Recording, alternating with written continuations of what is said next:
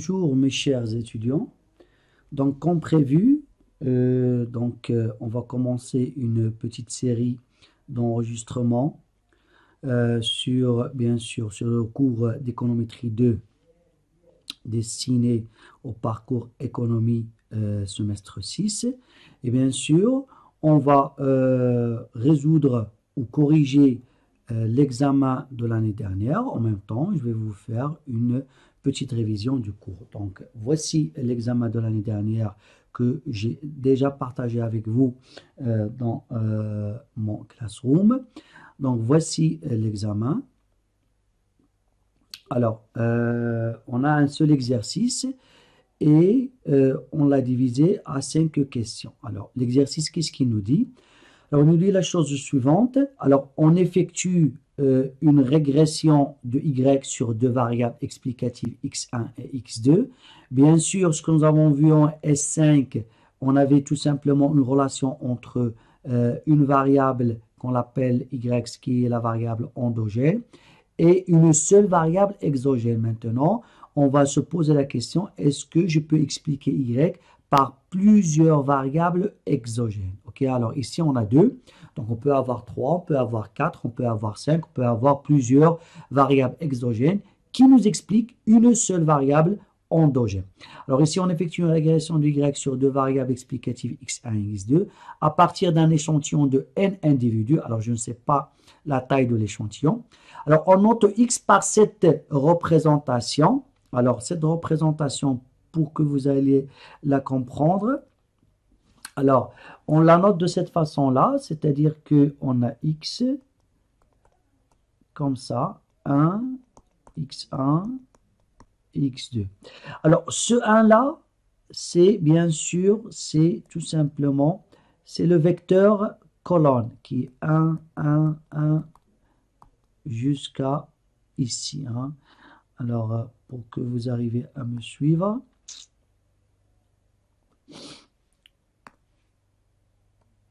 Alors ici, donc combien de fois je répète le 1 Bien sûr, n fois. Et, c'est quoi n? C'est la taille de l'échantillon. Ok, c'est la taille de l'échantillon. Très bien.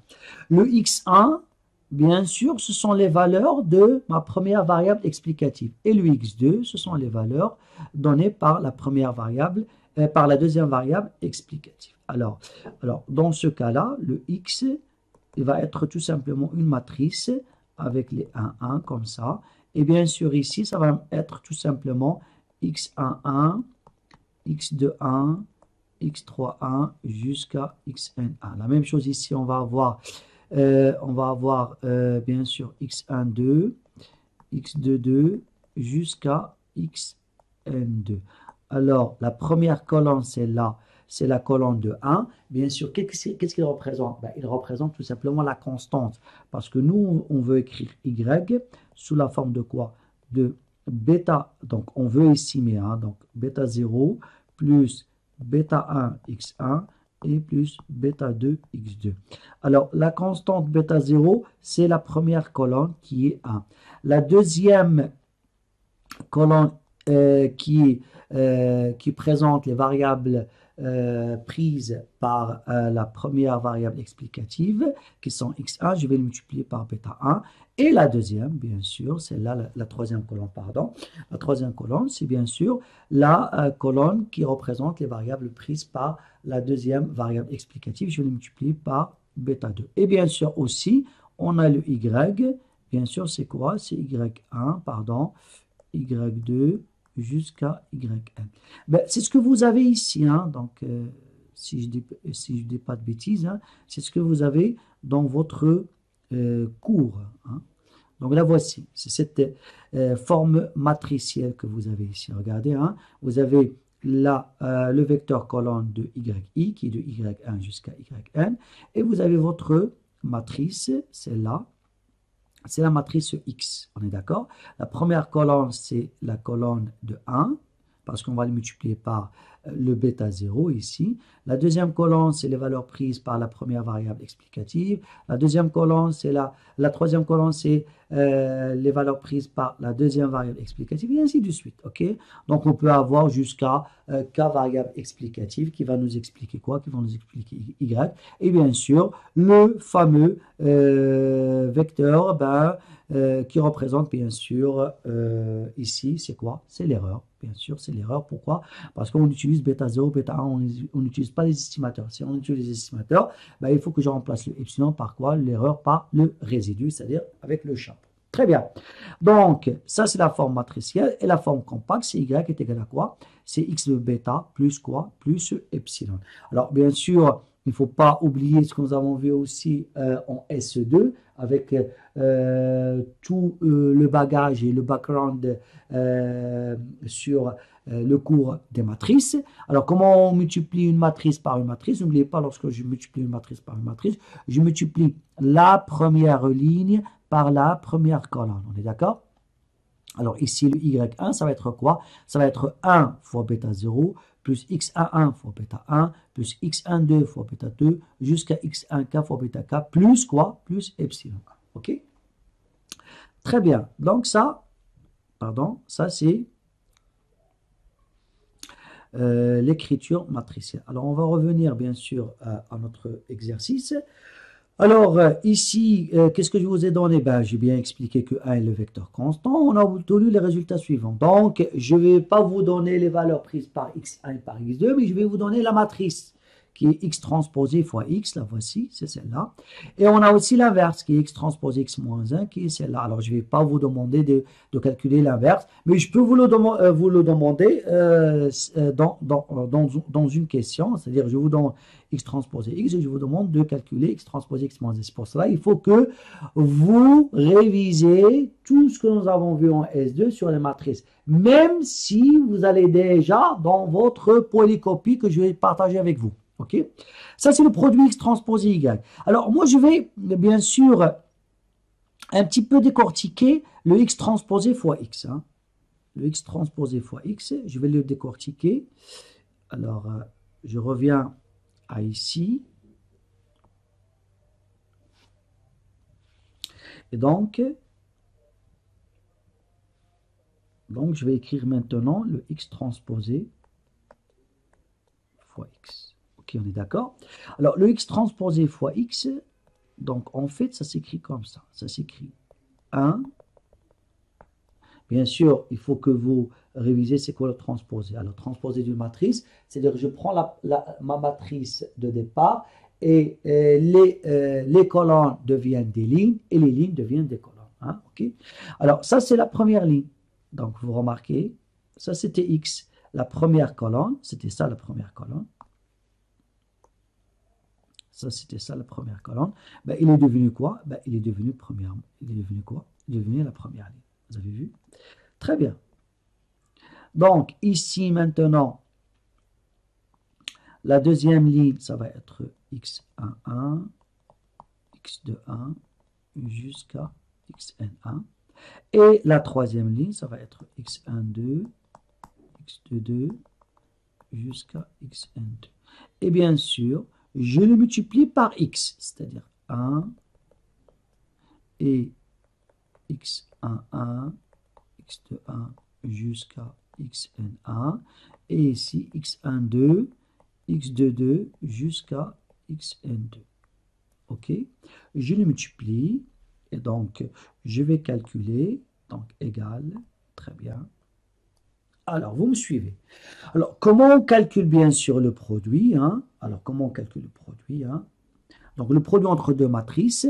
Donc, euh, si j'écris x transposé fois x, ben, vous n'avez pas le droit de faire tout simplement, de dire que x transposé fois x est égal à x fois x transposé. Ça, vous le, saviez déjà. Parce que le produit matriciel euh, n'est pas euh, commutatif. C'est-à-dire, je ne peux pas changer l'emplacement. Si vous avez x transposé à gauche, donc il reste à gauche. Si vous avez x à droite, ça reste à, droite. Donc, comment je vais faire? Ben, Je multiplie tout simplement. Alors, comme ça, je prends la première ligne de la matrice à gauche et je la multiplie par la première colonne de la matrice à droite. Donc vous avez 1 fois 1, 1 fois 1. Combien de fois? Ben n fois. Alors qu'est-ce qu'on va avoir ici? Alors qu'est-ce qu'on va avoir ici? On va avoir, pardon, pardon. Qu'est-ce qu'on va avoir ici? On va avoir n. Ben, si vous faites la somme, 1 fois 1 fois 1 plus 1 plus 1 plus 1, combien de fois? N fois. Alors, on va tomber sur quoi? Ben, On tombe sur la, table de, la taille de l'échantillon. Deuxièmement, je multiplie toujours la première ligne, mais maintenant fois multiplié par la deuxième colonne. Donc, je multiplie 1 fois x1, plus 1 fois x2, 1. Donc, à la fin, qu'est-ce qu'on va avoir? On va avoir ici, hein, c'est très important, ce produit matriciel. Ben, on va avoir ici la somme des quoi?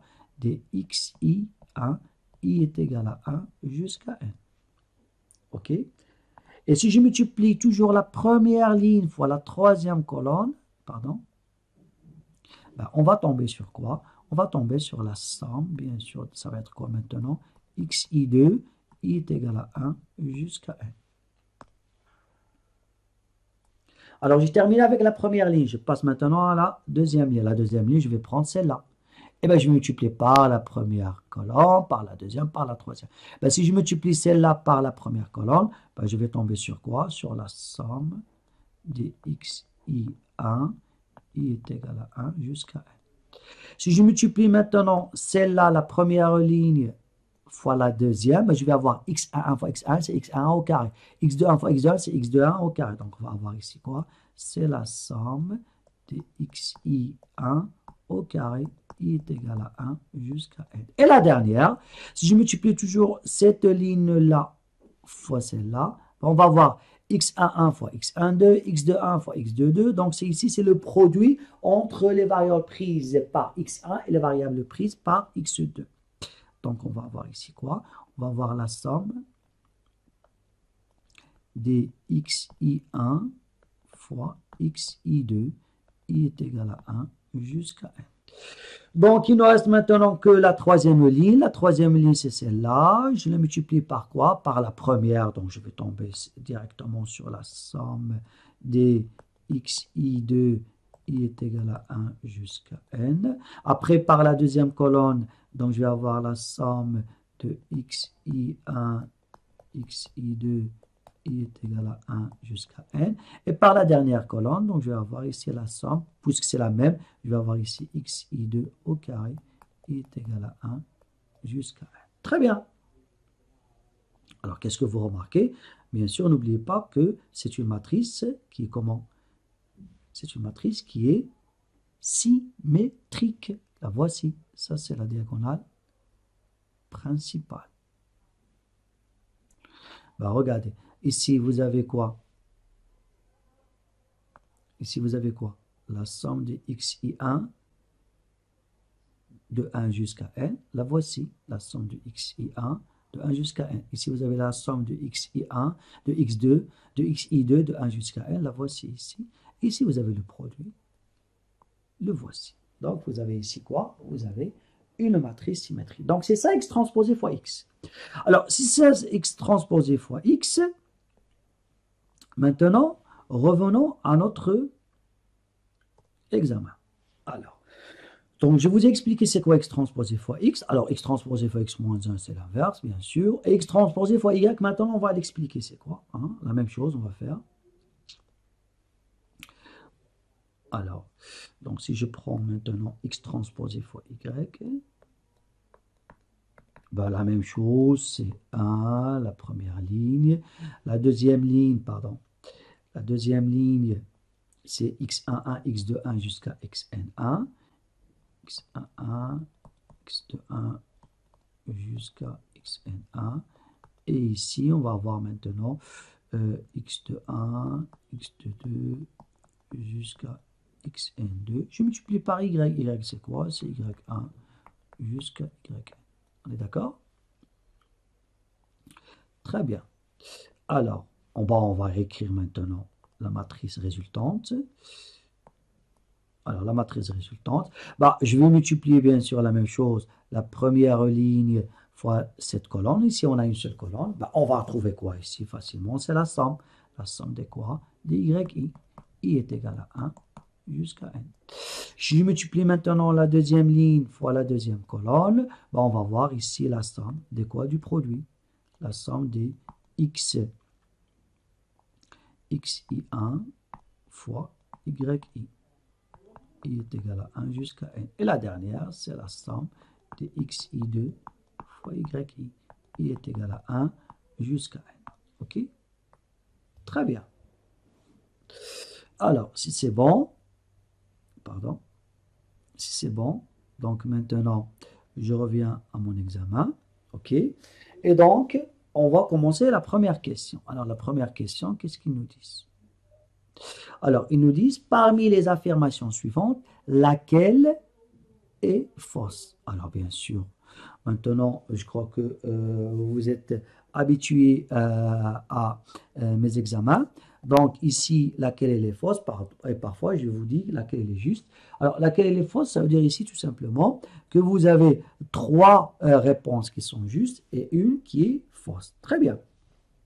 On commence par l'affirmation A. Alors A ici, on vous donne que la taille de l'échantillon n est égale à 42. Alors comment je vais la savoir? Je vais la savoir à partir de quoi? De x transposé x. On est d'accord?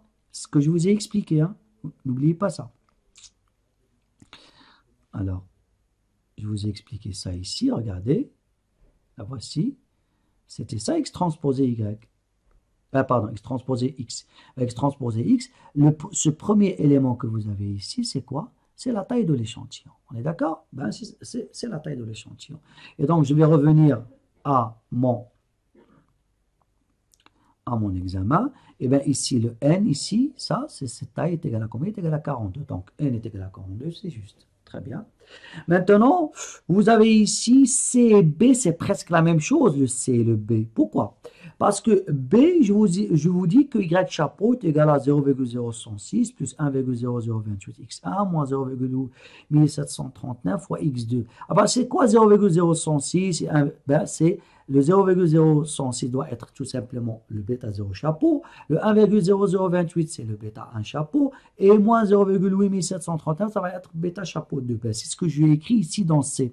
Sauf, la seule différence entre C et B, c'est qu'ils ont le même bêta 0 chapeau qui est celui-là, le même bêta chapeau 2 qui est celui-là, mais il y a une différence par rapport à quoi? Par rapport à bêta chapeau alors, on va revenir au cours pour qu'on puisse savoir comment on calcule le bêta chapeau. Ça, vous l'avez aussi dans le cours. Alors, dans le cours,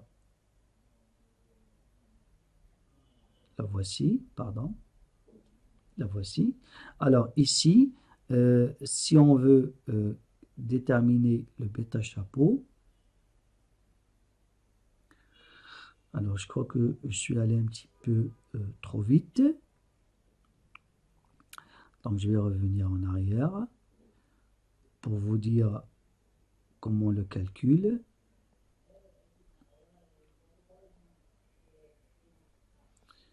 Alors, le voici. Le voici, c'est celui-là. C'est celui-là. Bêta chapeau, c'est égal à quoi? Est égal à x transposé x moins 1 fois x transposé y. C'est simple. Donc, est-ce qu'on a x transposé x moins 1 On l'a. Est-ce qu'on a x transposé y? C'est donné par l'exercice. Et donc, je vais faire le produit. Ben, alors, je reviens à l'exercice. Ben, bêta chapeau, c'est quoi? C'est x transposé x, la voici. C'est bon.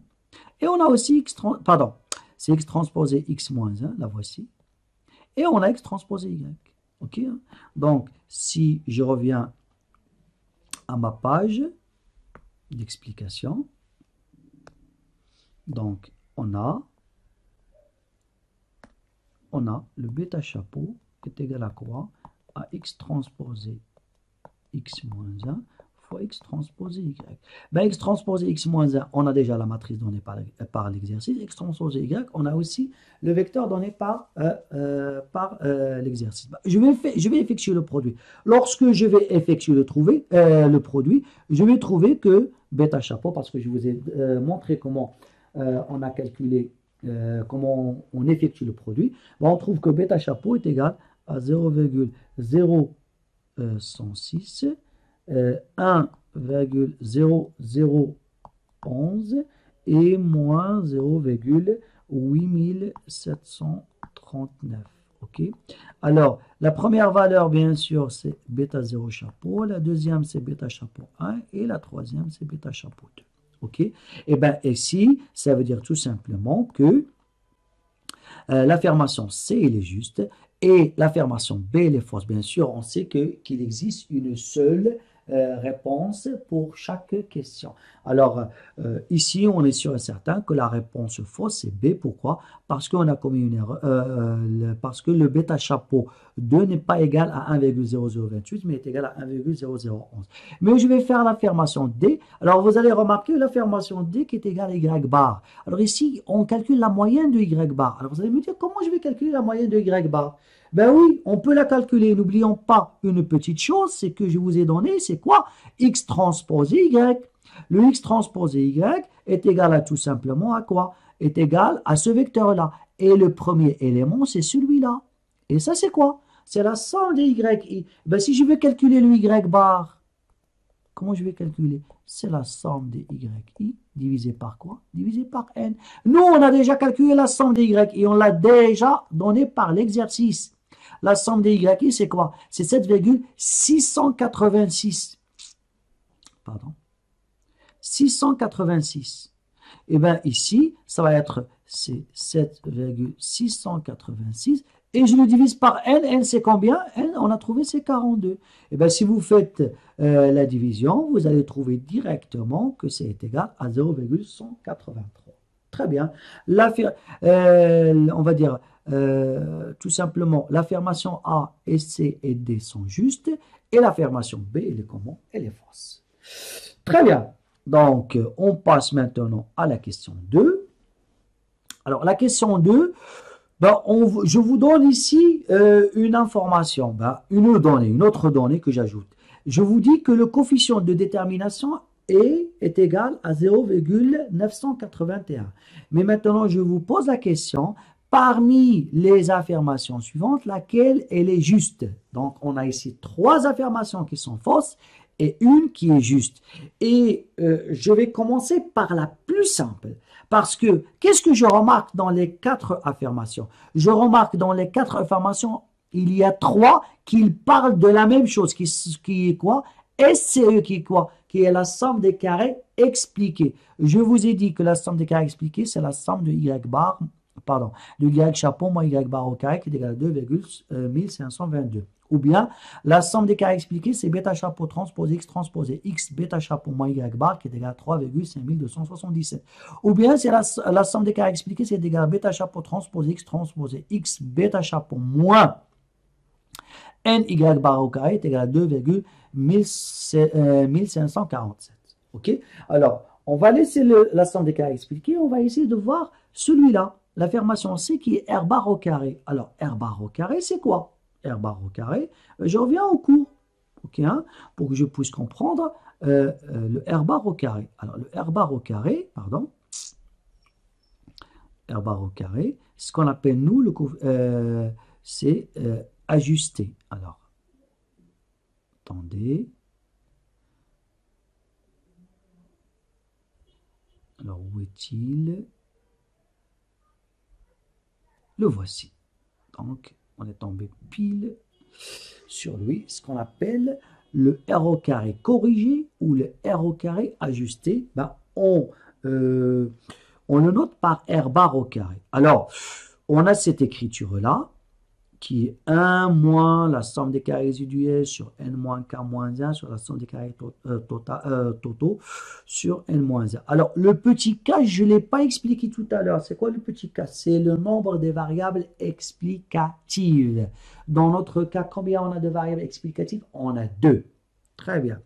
Alors, ou bien, je peux le calculer de cette façon-là, qui est quoi? Que le R bar au carré, alors je vais l'écrire ici, hein, pardon, je vais l'écrire ici. Alors, le R bar au carré. Le R bar au carré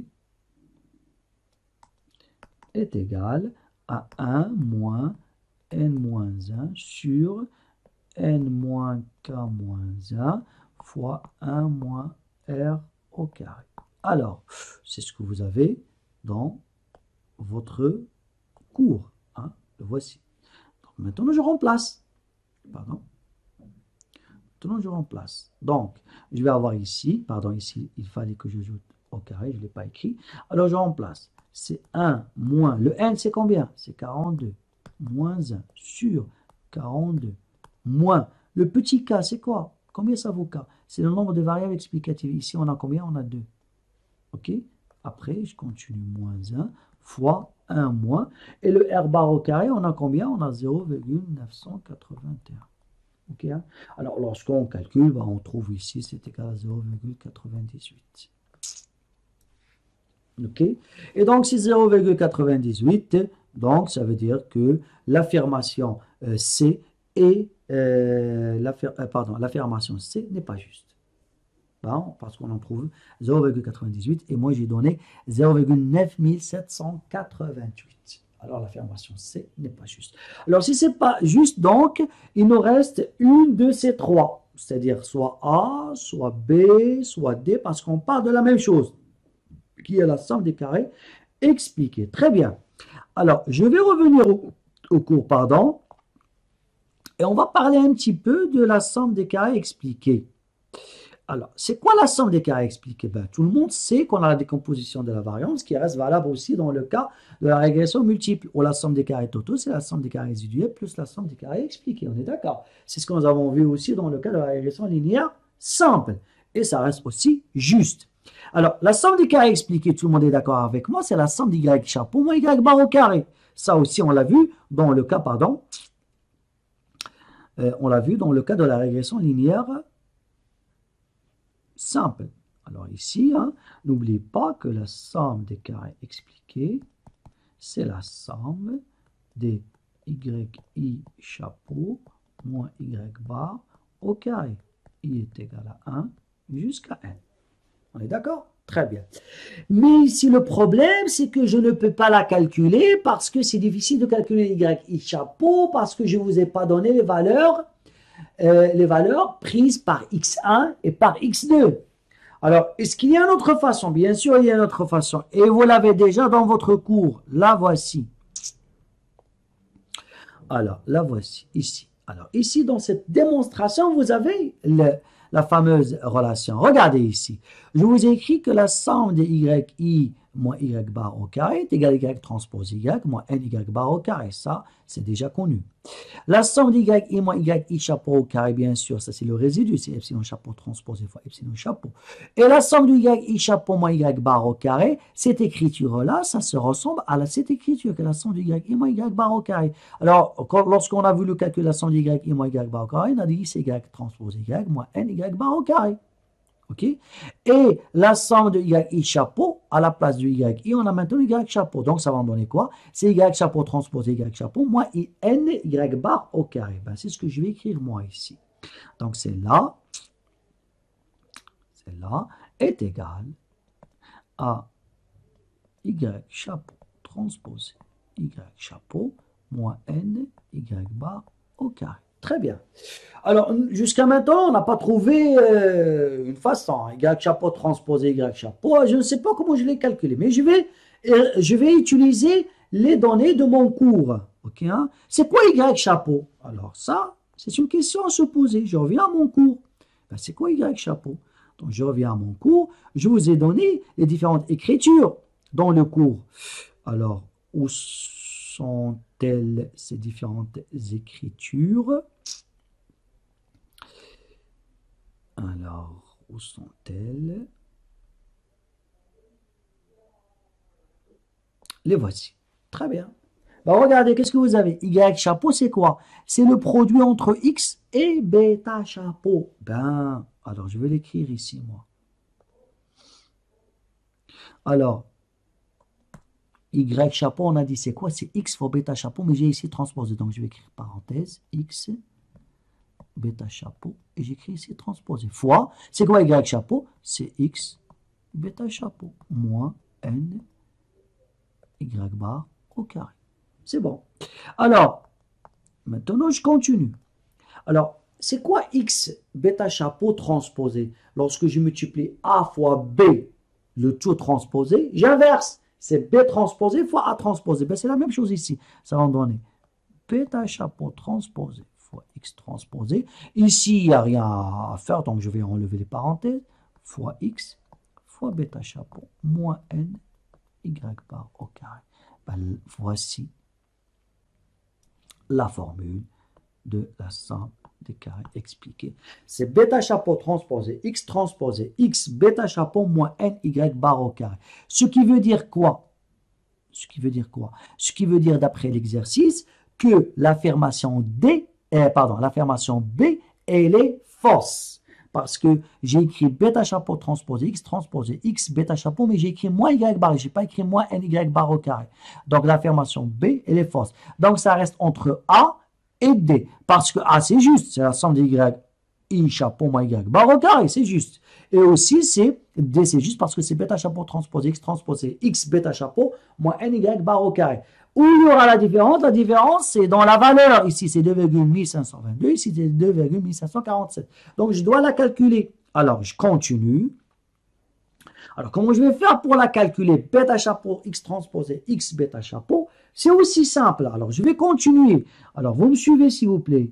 Alors, SCE, c'est égal. Alors, regardez, c'est bêta chapeau, X, pardon, bêta chapeau transposé, X transposé, X. Et eh bien, je vais remplacer maintenant, je vais remplacer le bêta chapeau. Alors, le bêta chapeau, on a déjà donné comment on calcule le bêta chapeau? La voici, bêta chapeau. C'est quoi? C'est x transposé x moins 1 fois x transposé y. Ben, je vais l'écrire ici. C'est x transposé x moins 1 fois x transposé y. Moins n y bar au carré. Très bien. Eh bien, combien ça vaut ça?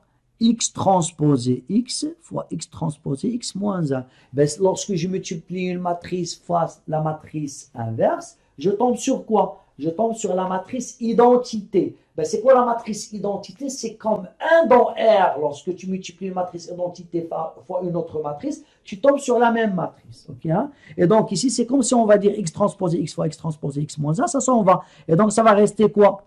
Ça va rester bêta chapeau transposé alors celle-là, ça s'en va et ça va rester x transposé y moins n y bar au carré. Très bien. Continuons. Alors, bêta chapeau transposé, c'est quoi? Ben, C'est le, le vecteur colonne qui va devenir quoi? Qui va devenir vecteur ligne. Donc, on va avoir comme ça. On va avoir 0,0106. Après 1,0 0,11. Après, moins